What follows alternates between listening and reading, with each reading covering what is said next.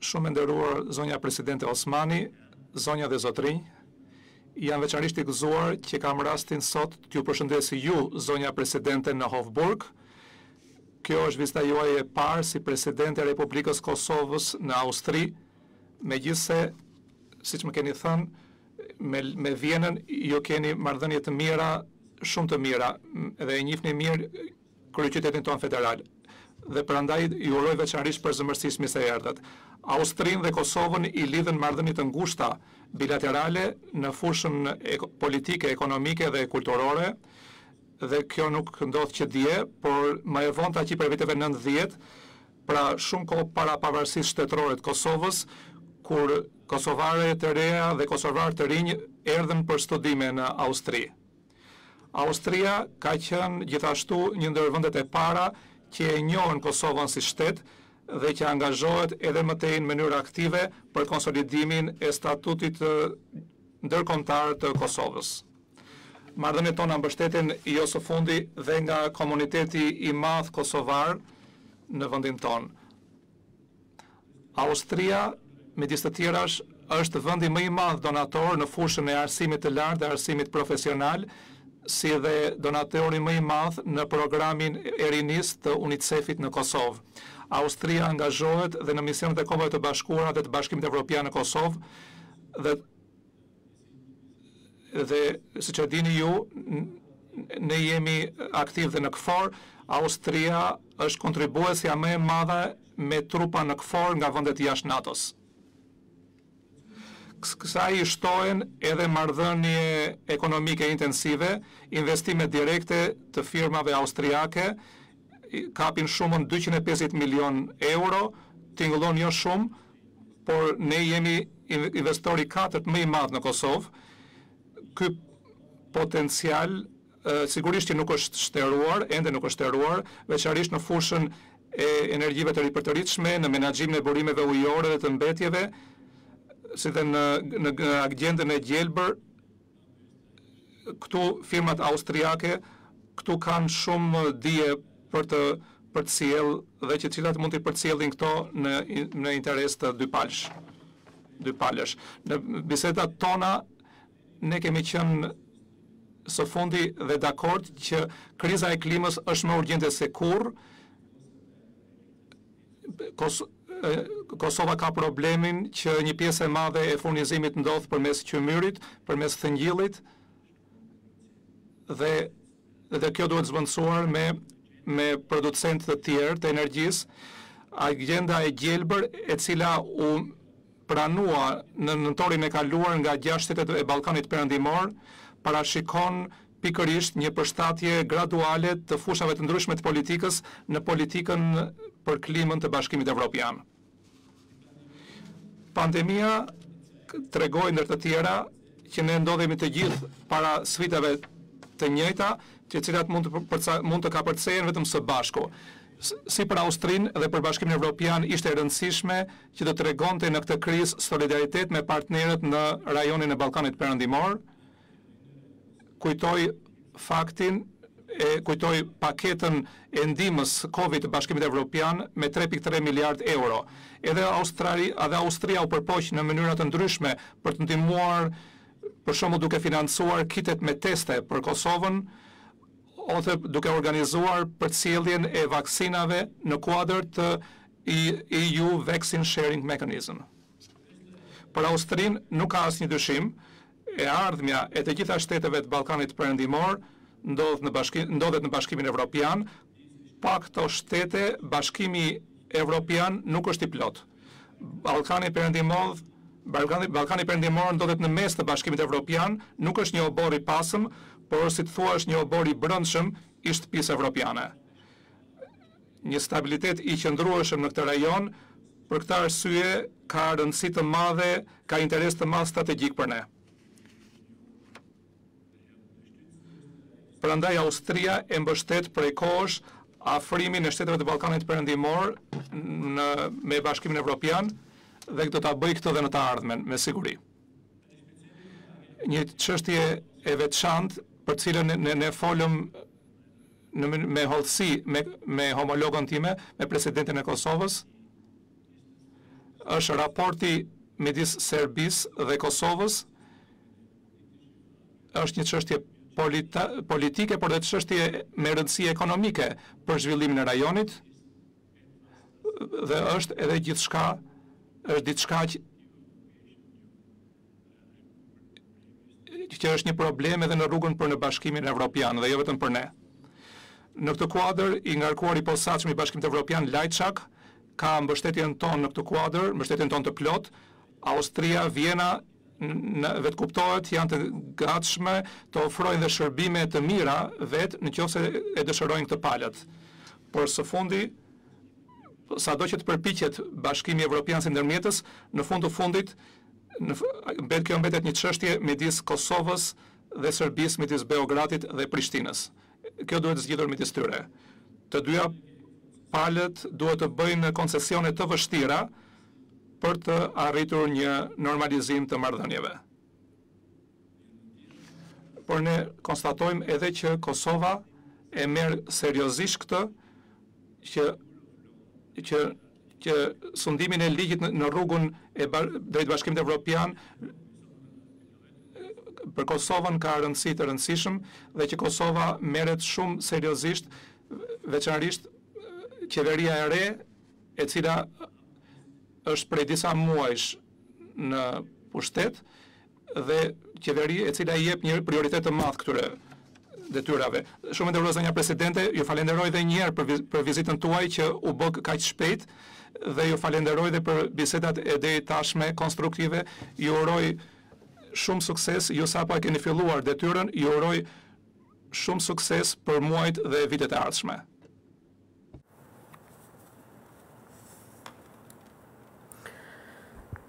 Faleminderit shumë, zoti President, është nder i veçantë që të jem këtu. Në emër të gjithë qytetarëve të Republikës së Kosovës ju falënderoj jo vetëm për pritjen e sotme të ngrohtë, këtu në Austri në Vjenë, por po ashtu dua t'ju falenderoj që Austria si një aleat shumë i çmuar i Republikës së Kosovës ka dëshmuar përgjatë historisë se gjithnjë ka qëndruar pranë popullit të Kosovës në përpjekjet disadekadëshe për liri, për pavarësi dhe për sovranitet. Dy vendet tona ndajnë një histori si dhe lidhje të ngushta ndërmjet vete. Austria gjithnjë e ka kuptuar drejt dhe ka mbështetur përpjekjen e popullit të Kosovës, por po ashtu ka qëndruar pranë nesh edhe në sfidat pas shpalljes së pavarësisë të cilat lidhen me procesin e shtetndërtimit. Natyrisht që një mërgatë e jashtëzakonshme e Republikës së Kosovës këtu në Austri e cila ka jo vetëm është integruar, por edhe ka arritur suksese të mëdha, gjithnjë ka shërbyer si një urë e fuqishme ndërmjet vendeve tona, por Austria ka qëndruar pranë Kosovës, siç e përmendi Presidenti, në përpjekjet tona diplomatike për njohje, për anëtarësim në organizata ndërkombëtare dhe përgjithësisht për fuqizimin e shtetësisë sonë. por ka qëndruar pranë nesh edhe me mbështetje financiare, kjo u dëshmua edhe së fundi gjatë pandemisë ku Austria ishte një ndër donatorët kryesorë, me pajisje mjekësore dhe pastaj nëpërmjet Austrisë arritëm si shtet që të marrim donacione me vakcina nga ana e Bashkimit Evropian në një kohë shumë të rëndë për qytetarët e Kosovës për çka dua t'ju falenderoj sërish në emër të të gjithë tyre. institucionet e Kosovës vërtet e vlerësojnë këtë partneritet me Austrinë dhe po ashtu i njohin të gjitha këto mbështetje që i keni dhënë përgjatë historisë e në veçanti e vlerësojmë mbështetjen e Austrisë në procesin e liberalizimit të vizave. Austria gjithnjë ka qenë e zëshme në përkrahjen e të drejtës së qytetarëve të Kosovës që të lëvizin lirshëm në zonën Shengen Meqë Kosova i ka plotësuar tashmë për më shumë se tri vite të gjitha kriteret dhe madje ka plotësuar dyfish më shumë kritere se çdo vend tjetër në rajon dhe padrejtësisht nuk po përfiton nga procesi i liberalizimit vizave për shkak të një numri shumë të vogël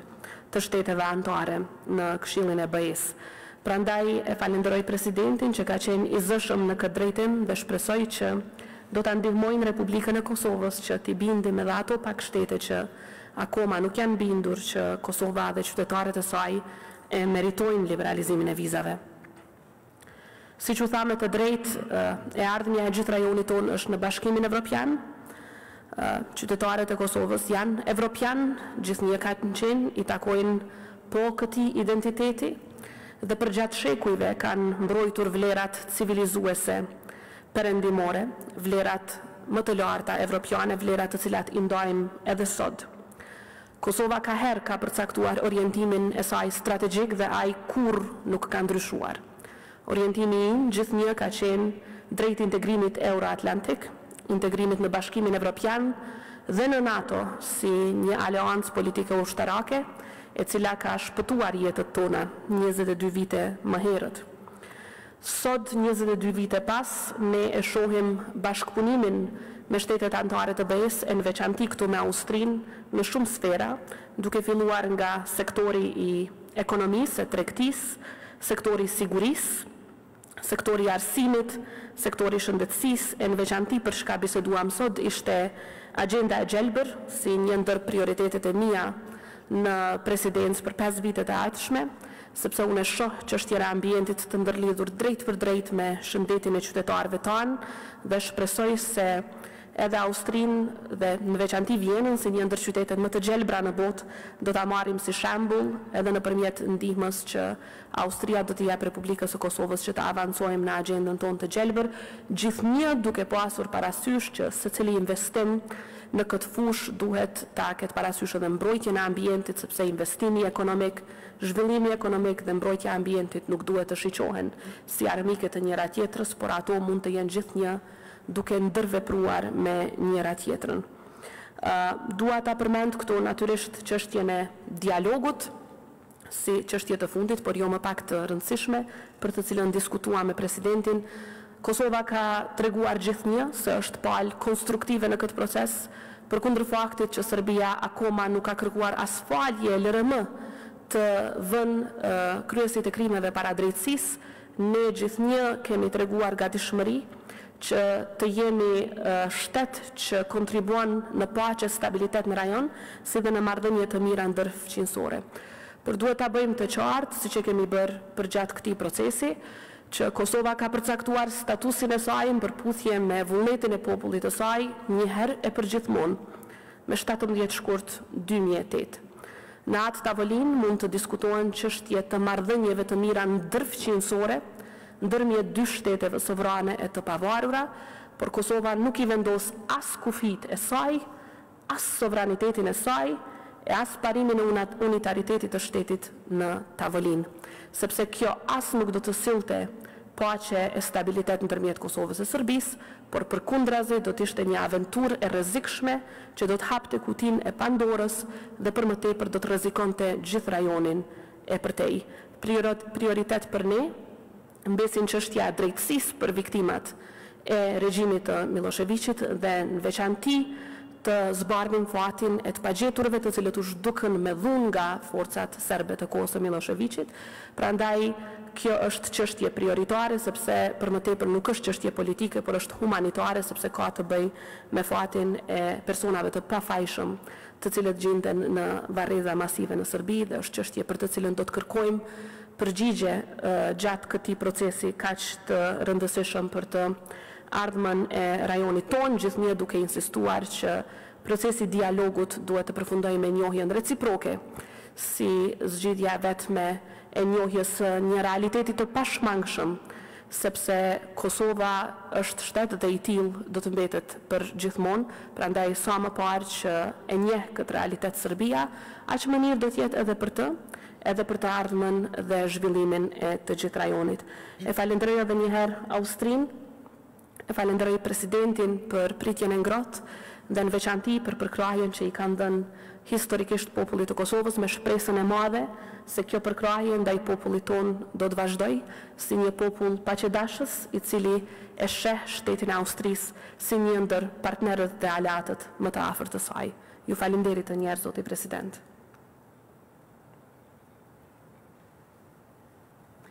Vielen Dank, wir kommen jetzt zu den Fragen. Faleminderit, tani në qoftë se ka pyetje, tani është kolegu i RTK-së. Unë jam Artur Miliqi nga Radio Televizioni i Kosovës, kam një pyetje për ju zotri President, po ashtu edhe për Presidenten e Kosovës,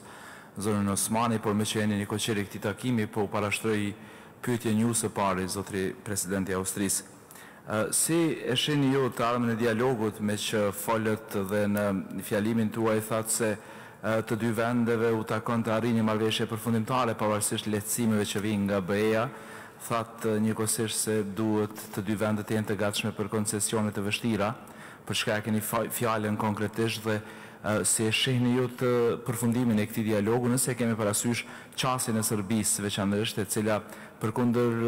dëshirës dhe vullnetit të mirë të Kosovës për të dialoguar, vazhdon të ketë një qasje destruktive në raport me Kosovën dhe natyrisht të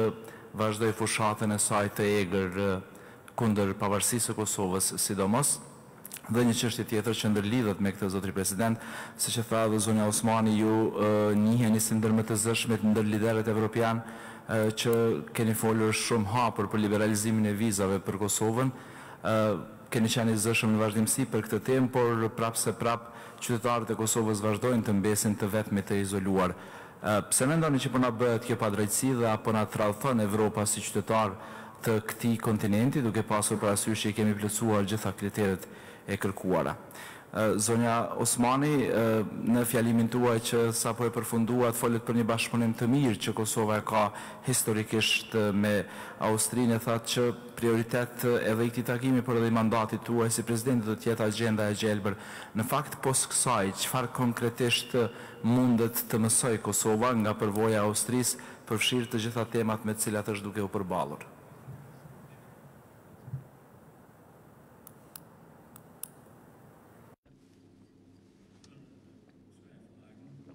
Ishin dy pyetje. Dialogu midis dy partnerëve Serbisë dhe Kosovës dhe, dhe liberalizimi i vizave,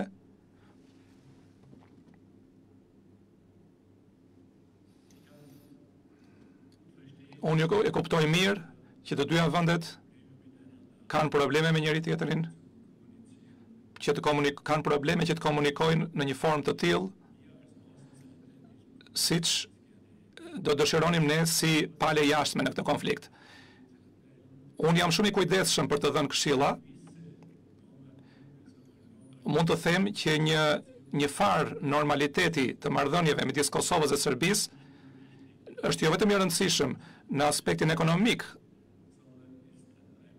por është një hap i domosdoshëm në rrugën për në Bashkimin Evropian, për të dyja vendet. si për njërin ashtu dhe për shtetin tjetër. Por e kuptoj që ka shumë plagë të freskëta, intervenimi i NATO-s, ndërhyrja e NATO-s para njëzet e dy vjetësh, ka kaluar vetëm njëzet e dy vjet nga intervenimi i NATO-s,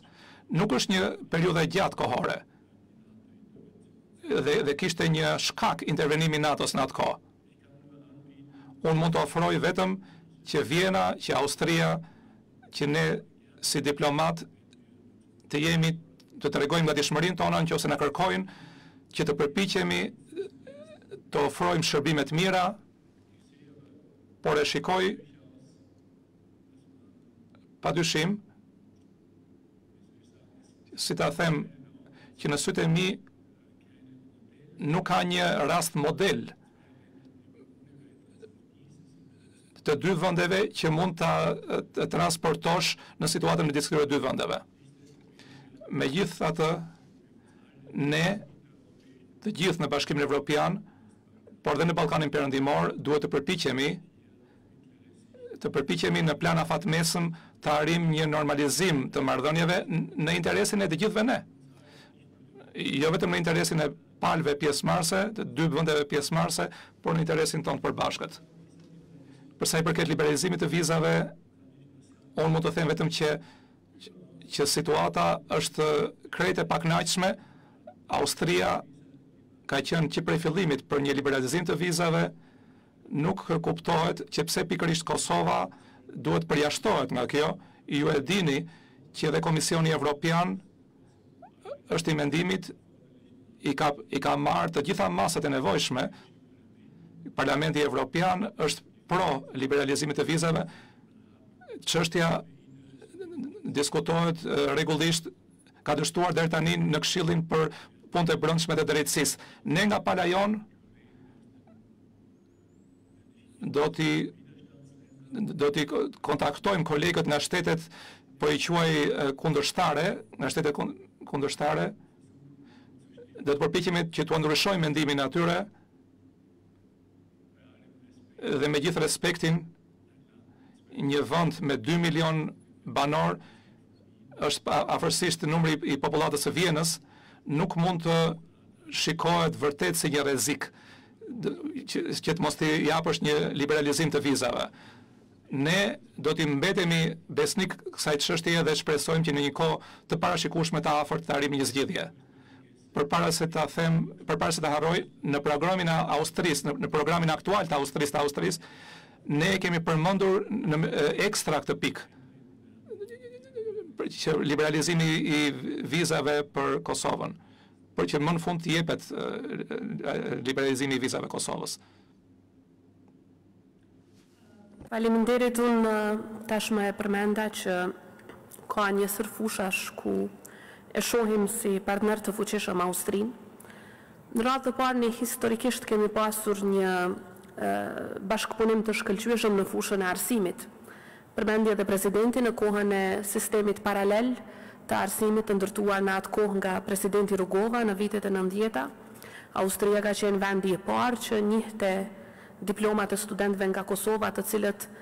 e panë një mundësi të jashtëzakonshme që të vinin të vazhdonin studimet në Austri në universitete të ndryshme në Vjenë, në Grac dhe pastaj ktheheshin në shtetin e tyre për të kontribuar në procesin e shtetndërtimit. Dhe ky bashkëpunim në fushën e arsimit ka vazhduar, mirëpo si një person që vjen nga bota akademike, unë shoh vërtet edhe shumë e shumë kapituj të ri të bashkëpunimit në këtë fushë që mund të hapim.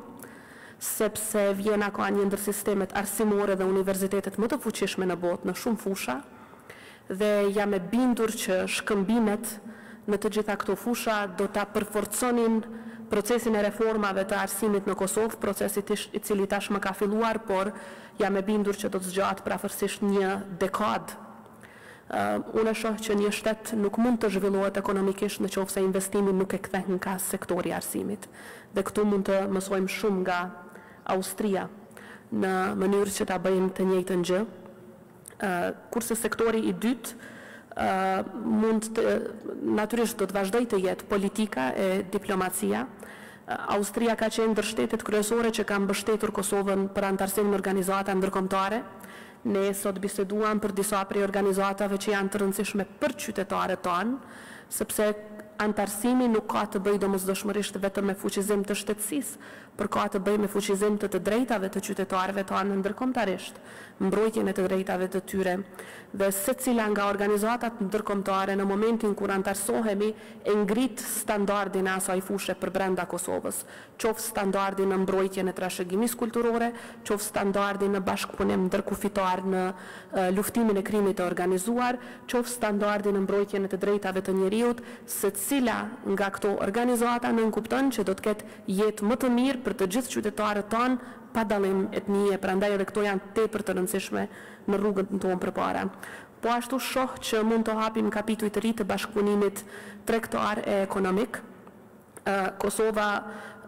është duke bërë hapa të mëdhenj përpara në fushën e sundimit të ligjit, por po ashtu ne do të diskutojmë me shtetin e Austrisë dhe me investitorë potencialë për sfida që ata mund të kenë në mënyrë që t'i eliminojmë të gjitha këto sfida sepse është tejet me rëndësi që Kosova si shtet me popullatën më të re në Evropë, një popullatë e cila është e shkëlqyeshme në fushën e teknologjisë informative, me shumë gjuhë të huaja që i flasin dhe me një fuqi punëtore e cila është shumë më e lirë se sa vendet tjera të rajonit, me një vend dhe pozicion të shkëlqyeshëm gjeografik, të mund të shihet tash e tutje si një vend për investime të mëdha, potenciale të cilat do të ishin të mira për të dyja palët, por në veçanti Kosovës do t'i ndihmonte një gjë e tillë që ta luftojmë nivelin e lartë të papunësisë. Pra ka shumë fusha, në fushën e shëndetësisë natyrisht po ashtu ku Austria ka një sukses të madh dhe si një sektor ku Kosova është e interesuar të investojë jo vetëm për shkak të pandemisë, por për shkak se ne e kemi trashëguar një sistem shëndetësor afër kolapsimit dhe tani duhet vërtet t'i kthejmë sytë kah shëndetësia, kah investimi në këtë fushë në mënyrë që të jemi përfaqësues të një popullate të shëndoshë sepse sërish Zhvillimi ekonomik është i mundur kur popullata jonë është e shëndoshë, është e shkolluar dhe ka natyrisht shërbime kualitative. Të gjitha këto janë parakushte për një zhvillim afatgjatë dhe të qëndrueshëm ekonomik dhe në të gjitha këto e shohim Austrinë jo vetëm si partner, po si një vend nga i cili mund të mësojmë shumëçka nga dijenia që e ka përfituar përgjatë rrugës së vet dhe përvojës së vet të gjatë. Faleminderit. Vielen Dank. Die nächste Frage kommt vom ORF, Thomas Heuss bitte. Pyetja tjetër është nga ORF-ja, Thomas Heuss. Një pyetje drejtuar zonjës Presidente, në konfliktin me Serbinë, pozicionet janë tepër të ngurtësuara, a besoni që mund të ketë një zgjidhje dhe Çfarë nevojitet për këtë? Dhe në qoftë se nuk do të ketë një zgjidhje për çështjen e njohjes, a e shikoni megjithatë një perspektivë të Bashkimit Evropian për Kosovën?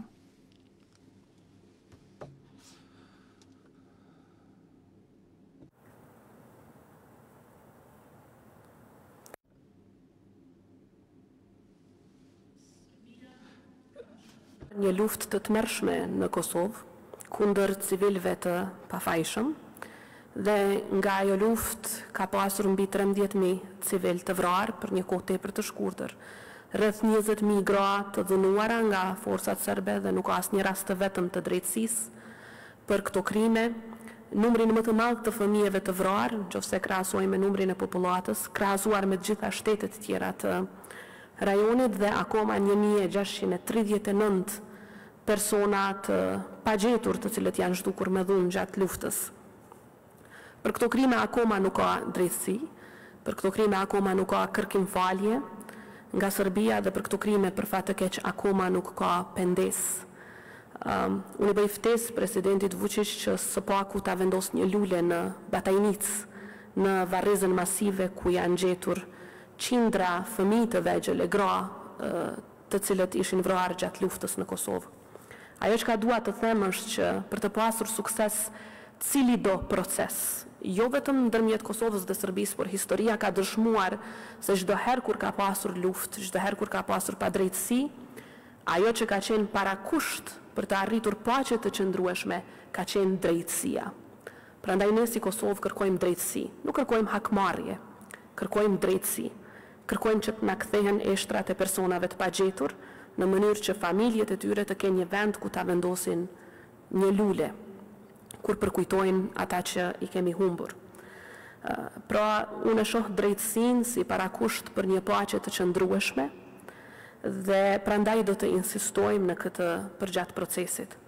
Dhe e shoh që kjo që ju po e quani zgjidhje, për ne është njohje reciproke,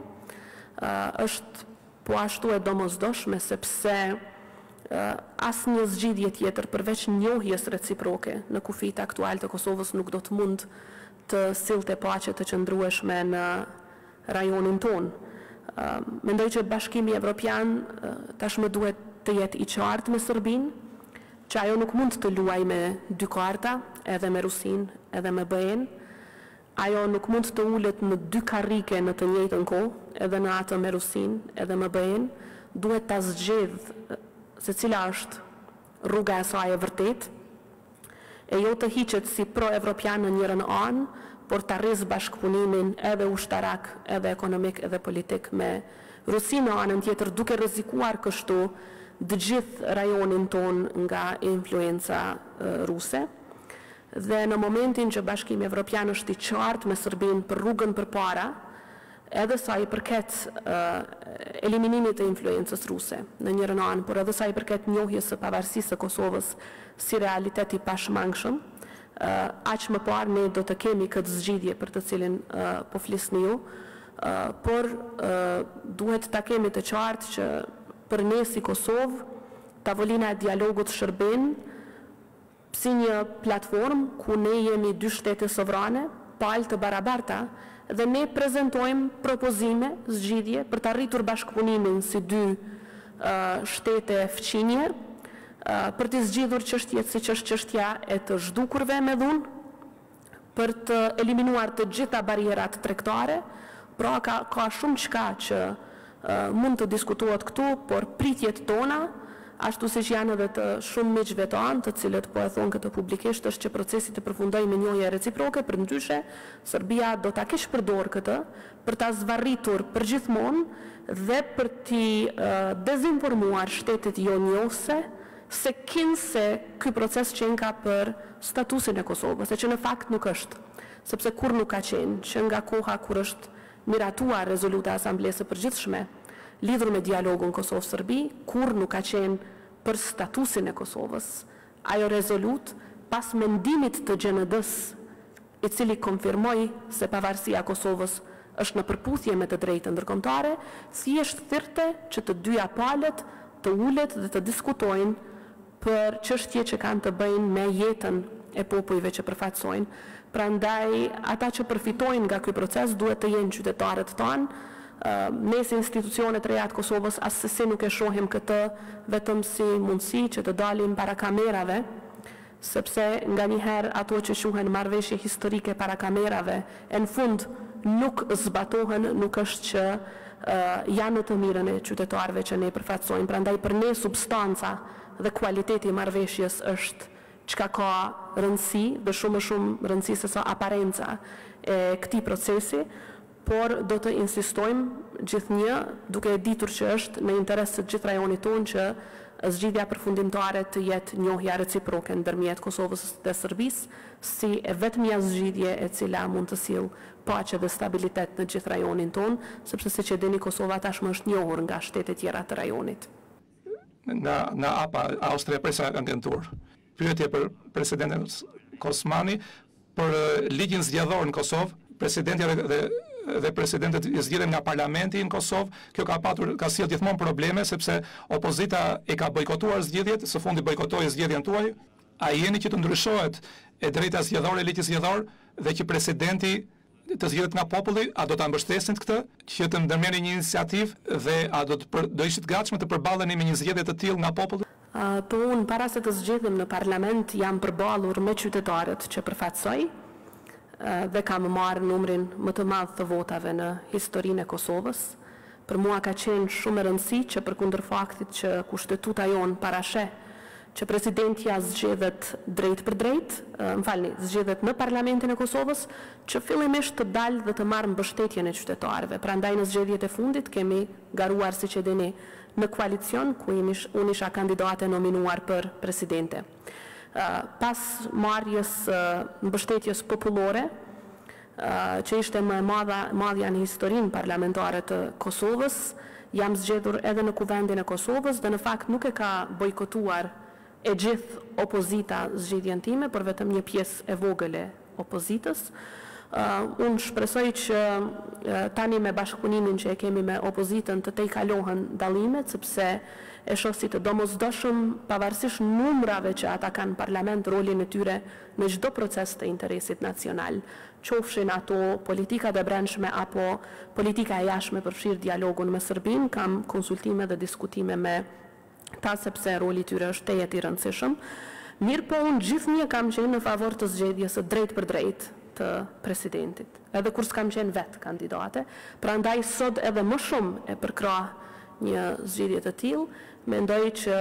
të marrësh bekimin e popullit tënd është fuqia më e madhe politike që mund ta ketë një president, prandaj edhe jo vetëm që jam e gatshme të përballem, siç jam përballur edhe në zgjedhjet e fundit, por e shoh këtë si një element shumë të rëndësishëm që i jep fuqi politike një presidenti gjithnjë duke respektuar çdo shtet që i ka procedurat e veta vetëm në parlament, siç i kemi ne për momentin, por unë personalisht, duke qenë politikane që gjithnjë lidhjen me qytetarin e sheh si të shenjtë, natyrisht që e favorizoj një zgjidhje të tillë për të ardhmen, por kjo do të nënkuptojë ndryshimin e Kushtetutës në Kosovë, e cila kërkon edhe votat e dyfishta, siç i quajmë ne, pra votat,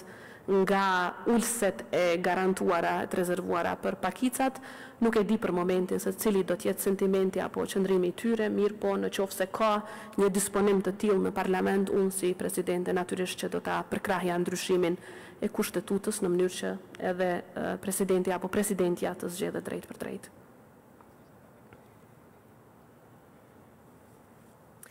Vielen herzlichen Dank. Faleminderit përzemërsisht shumë. Faleminderit për interesin tuaj.